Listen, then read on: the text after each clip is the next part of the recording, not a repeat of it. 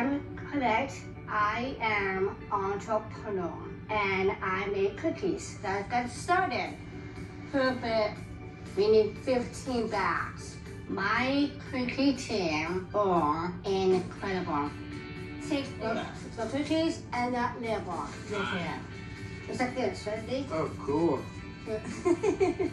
I will let it more, more and more my company so I can help people with disability by creating more jobs. This is the longest job I've ever had. And your job is, is, is, is amazing. Thank you, Collette. I've had a lot of issues with mental health, and Collette hired me, you know, knowing a lot of my disabilities. This is great for me to have a job for over a year. Instead of in a correctional institution or mental health facility, I'm really grateful that she do have love for me and want me to succeed.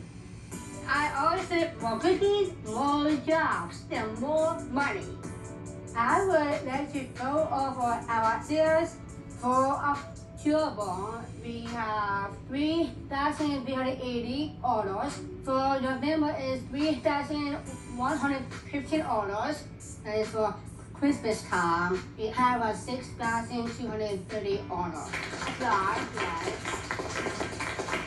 with our sales for our holidays. So we need more orders for year.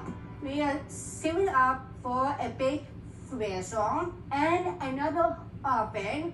So this year we can take more orders. Good idea.